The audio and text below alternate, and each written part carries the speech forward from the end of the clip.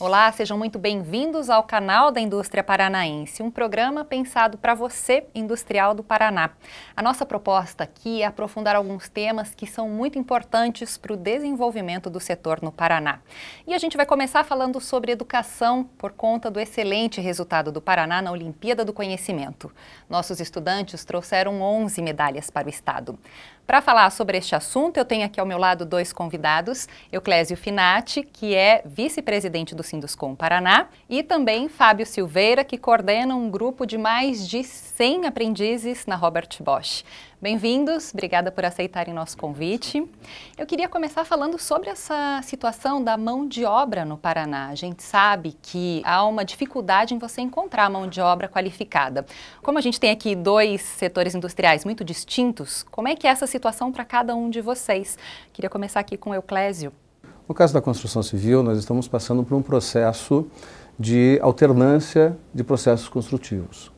Nós desenvolvemos uma série de atitudes é, que melhorou a qualificação uhum. né, por força do aumento do crédito e por força do cidadão poder ter a perspectiva de poder comprar sua casa própria. Vamos chamar então agora o Fábio para conversa. Queria que você contasse para a gente um pouco como é que é essa realidade da qualificação na indústria. É, temos hoje atualmente mais de 120 aprendizes em desenvolvimento, uma formação é, profissional é, bem realizada, ela direciona toda uma vida, toda uma carreira a gente vai parar então agora um pouquinho essa conversa e conhecer um grupo de alunos que esteve na Olimpíada do Conhecimento neste ano.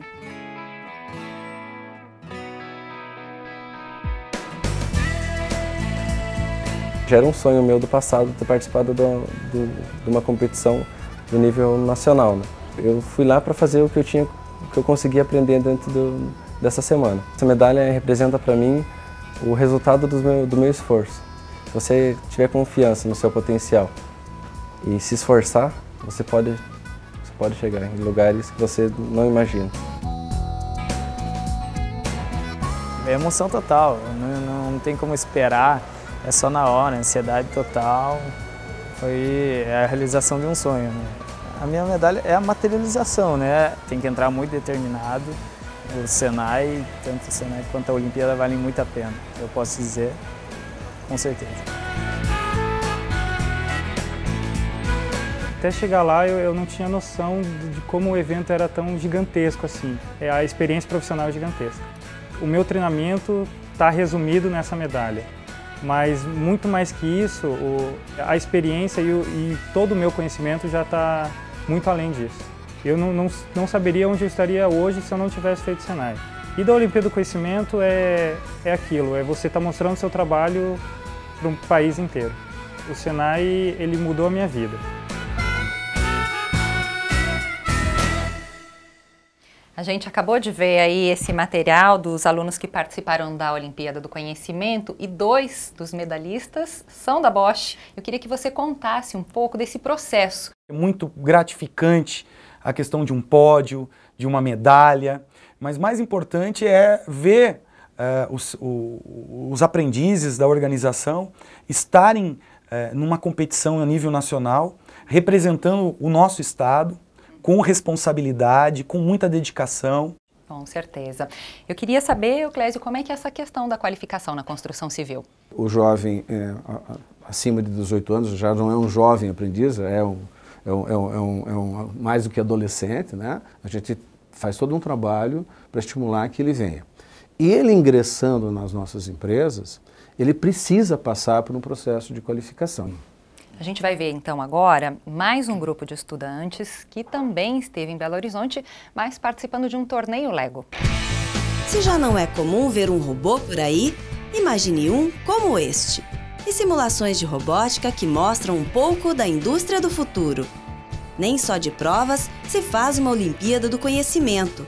Enquanto os competidores se dedicaram a cumprir os desafios propostos na disputa, correram em paralelo eventos que mostraram as inúmeras possibilidades das profissões industriais. 210 estudantes, 23 times e participantes do Brasil e de mais cinco países. Foi o Festival Internacional de Robótica First Lego League, realizado no Brasil pelo SESI. Os robôs construídos por jovens de 9 a 15 anos deviam realizar tarefas e propor soluções para problemas causados por desastres naturais. O objetivo do torneio é despertar a atenção de crianças e adolescentes para as carreiras tecnológicas e das engenharias. Para Suelen Bittencourt, aluna do Colégio SESI de Cianorte, a robótica mudou a maneira de estudar. A gente se interessou porque era uma coisa diferente, era um método diferente para você aprender física e matemática e a gente achou isso interessante porque normalmente é só teoria, teoria e teoria e com a robótica a gente consegue colocar tudo que a gente aprende na teoria na prática. Carlos conta que o que mais valeu a pena no torneio foi a troca de experiência. Além de eu mostrar para as pessoas o que eu aprendi e o que é, eu já sabia, eu aprendi muito também durante o torneio. O mais legal é esse compartilhamento de, de ideias, de estratégias, de tudo. O que a gente vê de mais interessante é o interesse desses alunos por disciplinas que antes não chamavam atenção, né? E de repente você tem uma experiência prática, acho que isso você percebe bastante lá também. Com não tenha dúvida, ali naquele ambiente, os professores também uh, aprendem muito. O competidor Lego foi muito feliz. Ele coloca essa, né? Estamos aqui compartilhando informações. O fato de você juntar um, bastante pessoas uhum. com o mesmo objetivo e aí você compartilhar isso é, é às vezes muito mais importante do que a competição em si. Né? Isso transforma o seu ambiente. Isso fortalece todo um fortalece setor, tudo. isso é importante. Isso também tem a ver com essa questão de você buscar mais essa qualificação enquanto você está no mercado de trabalho. E é isso que a gente vai ver agora. Vamos conhecer a história da Luciana. Eu trabalho na área de RH há aproximadamente sete anos. Né? trabalhei em diversas consultorias e atualmente eu estou como coordenadora de RH na Boni Plus, indústria de cosméticos. Eu decidi buscar esse curso de gestão de liderança é, para aperfeiçoar né, meus conhecimentos, enfim, buscar aprendizado tanto para levar para minha equipe e também para levar para dentro da empresa. Como eu sou responsável por treinamento e desenvolvimento, eu acho fundamental a gente levar também esse conhecimento, estender esse conhecimento para os líderes da empresa. Como são pessoas de indústrias que vêm fazer o curso, que é divulgado nesse meio, então a gente acaba trocando, né? Ah, como que acontece na minha empresa? É feito dessa forma? Não é feito? É dinâmica, é o dia a dia. Então faz a gente refletir sobre o tipo de líder que a gente é e faz a gente se tornar um líder melhor também das experiências que eles passam pra gente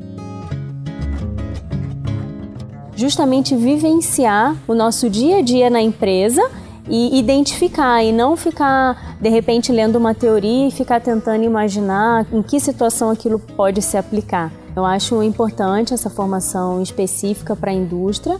Cada indústria tem um segmento, trabalha com um tipo de produto, é, mas tem sempre as questões da essência que são parecidas. Isso é bacana, então eu acho que realmente tem que existir curso de formação, é, sim, focado para profissionais que trabalham em indústrias.